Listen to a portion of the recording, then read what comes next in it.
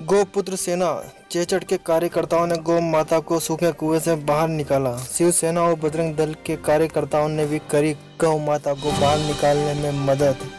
समय पर नहीं, चेता प्रशासन तो हो सकता है बड़ा हादसा।